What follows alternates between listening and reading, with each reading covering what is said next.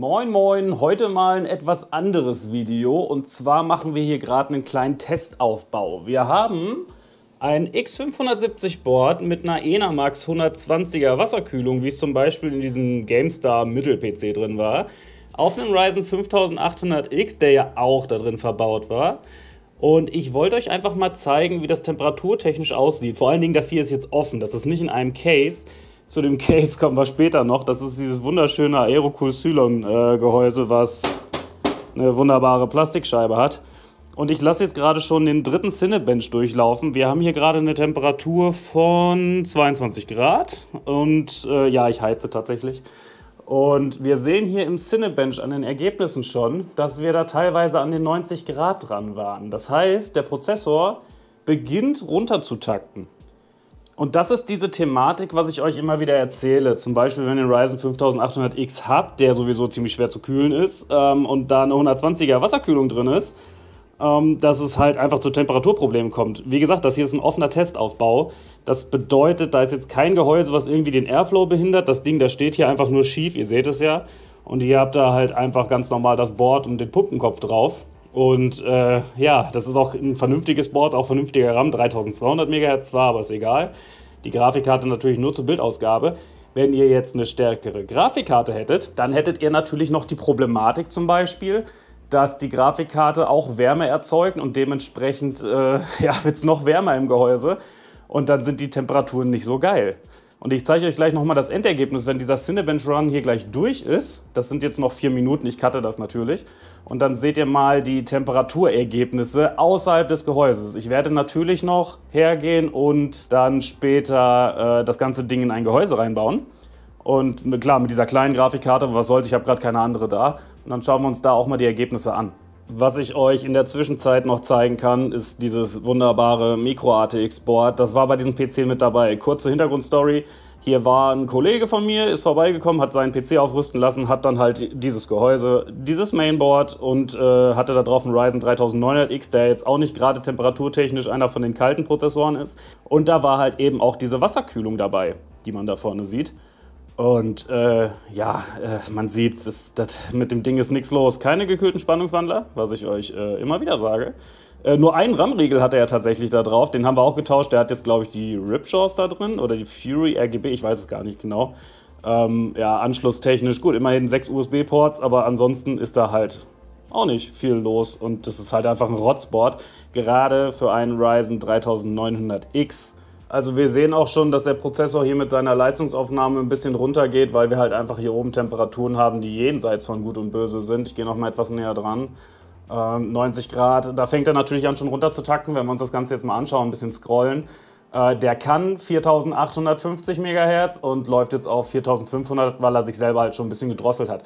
Beschneidet natürlich ein bisschen eure CPU. Müsst ihr immer so dran denken und äh, ja, dann könnt ihr nicht die volle Leistung ausfahren bei einer 120er AIO. Ich will auch gar nicht wissen, wie die Ergebnisse hinterher sind, wenn wir das ganze Ding gleich in dieses wunderschöne Case reinbauen. Äh, das wird sehr gerne von Memory PC verwendet, glaube ich. Die haben das auf ihrer Startseite. Ich blende das gerade mal ein, falls das nicht der Fall sein sollte. Aber ja, äh, das, das Gehäuse ist halt auch nichts. Ne? Wenn wir jetzt hier mal so schauen, äh, diese Plastikscheibe, die schraube ich gleich noch ab. Ich halte die gleich mal gegen das Licht, dass ihr auch sehen könnt, was mit diesem Kunststoff dann irgendwann passiert. Vielleicht sehen wir es auch schon, wenn die Hardware gleich eingebaut ist, weil da sieht man schön Kratzer und so weiter. Äh, Kabelmanagement technisch ist natürlich überhaupt nichts los. Wundert euch nicht über den Staub. Wie gesagt, es ist ein gebrauchtes Gehäuse. Ähm, Kabelmanagement technisch ist halt hier kein Kanal, wo man vernünftig verlegen kann. Klar, ihr habt hier diese paar Ösen, wo ihr jetzt zum Beispiel ähm, Kabelbinder nehmen könntet und dann die Kabel festbinden könntet.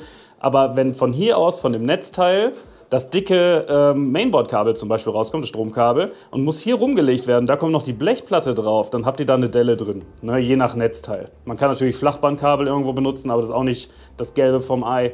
Und das ist halt einfach nur dünnstes Blech. Ich kann das Ding mit einem Finger hochheben. Da ist halt überhaupt nichts los mit dem Teil. Ne? Muss man wirklich so sagen, wie es ist. So, jetzt haben wir hier nochmal das Endergebnis. Also wir sehen hier schon an den Punkten, ähm, der Test darüber war, glaube ich, noch von der 240er Wasserkühlung, die ich mal für euch getestet hatte, wo ich auch das Giveaway gemacht habe. Die ist ja mittlerweile schon weg, ne? also da braucht jetzt keiner mehr mitmachen, dass ihr Bescheid wisst. Ähm, und hier sieht man halt, dass die Temperatur so weit da gepiekt ist, so bei 90,8. Der hat dann dementsprechend runtergetaktet, dass er nicht da drüber kommt. Ja, das sind keine idealen Ergebnisse für so einen Prozessor. Ne? Also ihr kriegt da halt echt Probleme mit, wenn ihr dann irgendwie streamen wollt. Gut, äh, Cinebench ist jetzt natürlich so, dass äh, der wirklich Hauptlast wirklich auf die CPU geht zu 100%. Wenn ihr jetzt natürlich streamt und zockt, dann habt ihr manchmal solche Auslastungen, je nachdem, ob ihr jetzt über den Prozessor rendert oder nicht. Oder ihr macht Bildbearbeitung oder Videobearbeitung oder sowas in der Art, dann kommen solche Ergebnisse durchaus mal zustande. Gerade wenn ihr über längere Zeit ein Video rendert. Wenn ich so ein YouTube-Video zum Beispiel render und wenn das nur Gameplay ist von euch oder so, ihr wollt das rendern, dann äh, zieht das schon ordentlich am Prozessor und da kann es passieren, dass er runtertaktet und es dann halt länger dauert. Ja, klar. Aber beim Zocken kann es halt dann passieren, kriegt ihr Mikroruckler und sowas. Es ist halt ärgerlich, muss nicht sein. Und jetzt zeige ich euch gerade nochmal diese Scheibe. Also die Scheibe, da, die ist halt echt am, am Wabbeln. Also das ist schon, weiß ich nicht, wie stark ist das? Ungefähr ein Millimeter, vielleicht 1,5. Ähm, wenn wir das mal so in die Softbox halten, ich weiß nicht, ob man das vernünftig sieht. Ja, sollte man sehen. Also diese ganzen kleinen Mikrokratzer, die ihr da so drin habt. Natürlich sind ein paar Fingerabdrücke und so, ist klar. Ähm, das ist halt nichts. Ich versuche es nochmal gegen die helle Decke hier. Nö, das funktioniert nicht so gut. Also im Endeffekt äh, ist es halt einfach so, dass ihr dann viele Kratzer drauf habt. Die wird irgendwann so ein bisschen milchig. Dann sieht die Hardware da drin nicht mehr so gut aus. Ich glaube, wenn man es so hält. Nee, aber ich denke, ihr habt es gesehen. Und in dieses wunderschöne Case werden wir das jetzt einbauen. Wie gesagt, das ist ein bisschen staubig, aber das ist jetzt nicht so schlimm. Ich kann es halt wirklich mit einem kleinen Finger, gut, die Seitenwand ist jetzt hinten ab und die Scheibe auch, aber äh, die Scheibe wiegt ja nichts, kann ich mit einem kleinen Finger hochheben. Ja, ist das billigste vom billigsten. Ich weiß nicht, ich glaube, das kostet im Endkundenmarkt sogar 50 Euro oder so. Das ist auf jeden Fall zu viel. Da kriegt ihr zum Beispiel von Silenzium PC oder Be Quiet auf jeden Fall bessere Gehäuse für. Ich muss euch gerade noch was zeigen. Ich war gerade dabei, diese süßen kleinen äh, Abstandshalter-Schräubchen hier reinzupacken, weil wir natürlich von den Micro-ATX-Anschlüssen, also sagen wir, was heißt Anschlüssen, von diesen Schrauben, die hier sind, äh, die müssen wir natürlich nach unten versetzen, weil wir jetzt Full-ATX einbauen. Ja, glaubt ihr, die Dinger passen da rein? Ich habe versucht, ich habe die hier original rausgeschraubt, versucht hier reinzuschrauben, da unten oder hier, äh, keine Chance. Kriege ich nicht rein. Zumindest nicht gerade. Ich könnte ein neues Gewinde schneiden mit den Dingern, das ist mir klar, aber ich habe sogar mit einer Zange probiert und alles, ey, keine Chance, die da reinzukriegen. Ich muss jetzt irgendwie versuchen, das Board einigermaßen damit zu befestigen, was ich jetzt hier habe, ist natürlich nicht ideal, aber für die Leute, die ein bisschen Kenner haben, das Video später sehen, äh, ihr habt da den Grund, warum es eben nicht anders geklappt hat. Das Gehäuse ist so rotzig, ich sag's euch so, wie es ist. Das kannst du vielleicht für einen Büro-PC nehmen. Da passt auch Micro-ATX dann bei einem Büro-PC, aber das soll ja ein Gaming-PC sein. Ah. ah. ich wollte noch eine kleine Sache zeigen. Wenn ihr viel PCs schraubt, für die Kenner unter euch, ähm, das Ding ist ganz geil. Das ist kein Placement. Ich kriege von Bosch dafür nichts. Das habe ich auch nicht zur Verfügung gestellt bekommen, habe ich selber gekauft. Äh, äh, das benutze ich halt selber. Ich, ich finde es halt top. Da drückt ihr drauf und dann ist für die faulen Leute. Ihr könnt dann beide Richtungen machen, USB-C-Anschluss zum Aufladen. Äh, ich finde es persönlich halt ganz geil. Wollte ich einfach mal zeigen. Habe ich mir irgendwann mal gekauft. Äh, bockt. Ja, ich weiß jetzt, warum die ein äh, Mainboard genommen haben ohne gekühlte Spannungswandler. Wenn ihr gekühlte Spannungswandler habt hier oben, passt der Lüfter oben nicht mehr rein. Da war vorher ein Lüfter drin. Den musste ich jetzt rausholen. Ich habe die Wasserkühlung sowieso hier verbaut. Äh, hier war halt vorher ein Lüfter drin und der passt einfach nicht mehr, weil er zu dick ist. Kriegt er das Mainboard einfach nicht rein. Ist zu weit unten dran. Äh, nicht ganz so optimal tatsächlich. Und hier auch dieses, dieses wunderschöne Blech, was man rausbiegen muss, wo man sich auch schön dran schneiden kann. Äh, eigentlich sind die geschraubt, aber bei diesen billigen Gehäusen, da sind das halt einfach diese, ja, diese Blechdinger, die ihr dann mit zwei Fingern verbiegen könnt. Ist, ist einfach nur Rotze.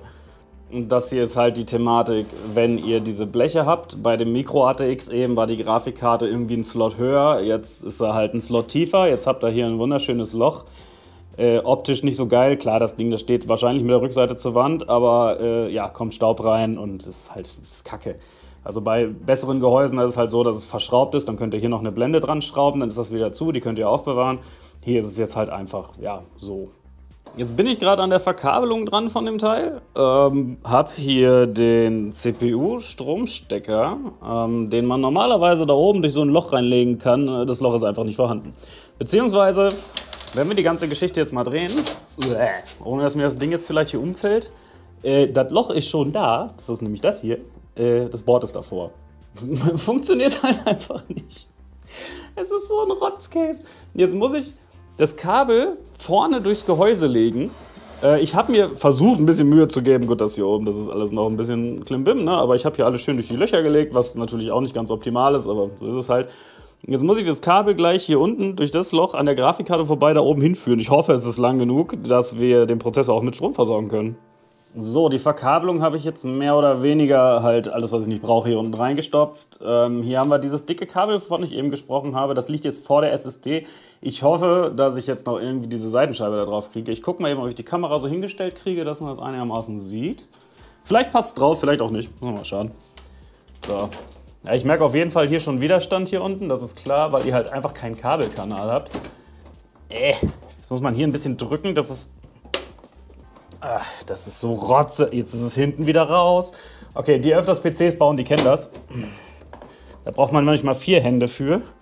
So, jetzt schauen wir uns das mal an, ob man da eine gewisse Wölbung sehen kann.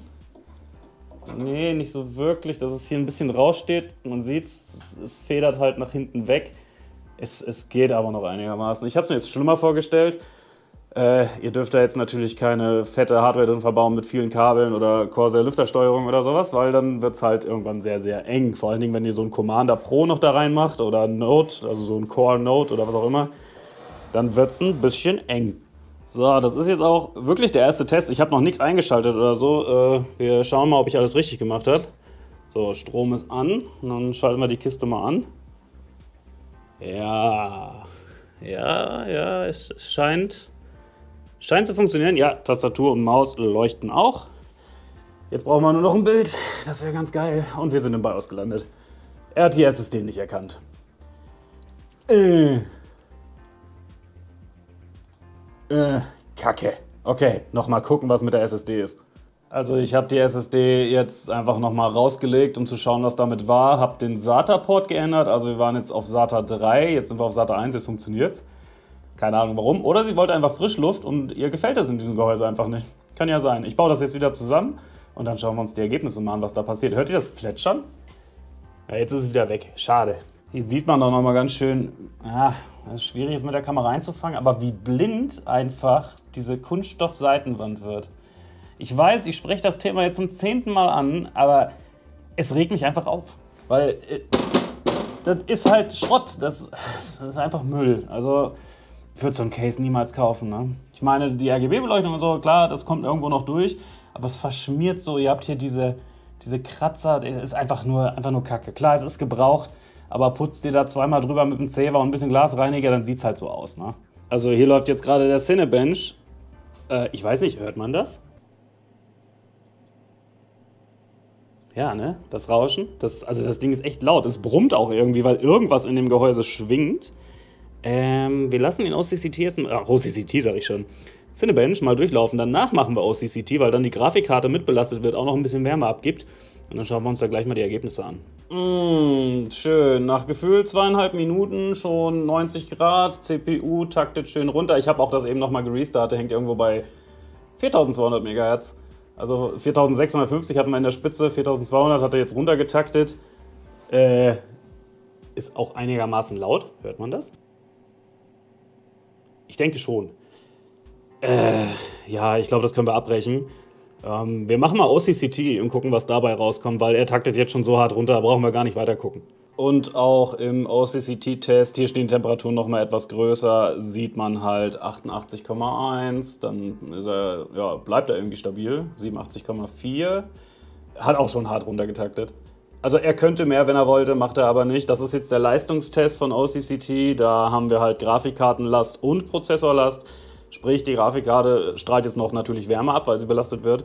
Und äh, erwärmt damit natürlich auch die Luft über der Grafikkarte. Also die warme Luft steigt dann nach oben, wird dann hinten durch diesen Radiator durchgeblasen. Und der kommt damit natürlich überhaupt nicht zurecht. Ne? Also die, die Temperaturen äh, sind schon rot.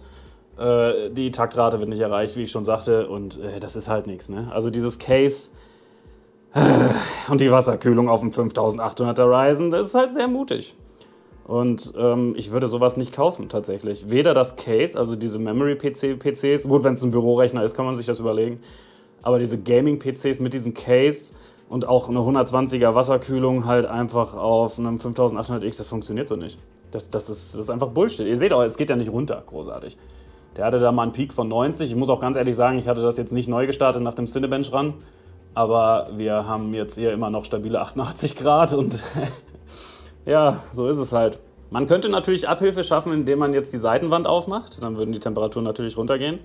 Ist aber nicht Sinn der Sache. Wobei so eine hässliche Seitenwand würde ich halt schon irgendwie abmachen und äh, ja.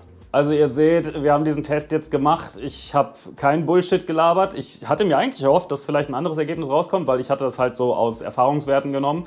Habe selber noch nie getestet. Jetzt habe ich es mal getestet. Ihr seht, es funktioniert nicht vernünftig. Und äh, ich werde auf dieses Video auch immer wieder verweisen, wenn jetzt so ein Fall nochmal eintreten sollte. Vielleicht kommt die sogar auf die Idee, einen 7600X oder so mit einer 120er Wasserkühlung zu kühlen. Muss ich da gucken, ob ich dann drankomme, werde ich dann natürlich wieder testen. Äh, wenn euch das gefallen hat, dann lasst gerne ein Däumchen nach oben da und schreibt auch gerne in die Kommentare, was ihr von so einem Review, sag ich mal, haltet. Da war jetzt kein Placement drin oder sonst irgendwas, das waren alles Teile von mir, beziehungsweise von einem Bekannten, der den alten PC hier einfach abgeliefert hat, den ich umgebaut hatte und ich durfte die Sachen halt behalten. Das war ganz cool, dementsprechend konnte ich das jetzt testen. Ich hätte den 5800X jetzt natürlich auch auf das kleine Mainboard draufschnallen können. Äh, Wäre auch nicht so geil gewesen, deswegen, also lasst es euch gesagt sein, das Case, die Wasserkühlung, das hat jetzt nichts direkt mit Enamax zu tun, die können da auch nichts für. Äh, allgemein 120er Wasserkühlung auf dem 5800X funktioniert halt einfach nicht. Ne? Dann würde ich sagen, vielen Dank fürs Zuschauen, lasst ein Däumchen da oben da, abonniert den Kanal, falls ihr es noch nicht gemacht habt. Bis dahin, auf Wiedersehen und ciao, ciao.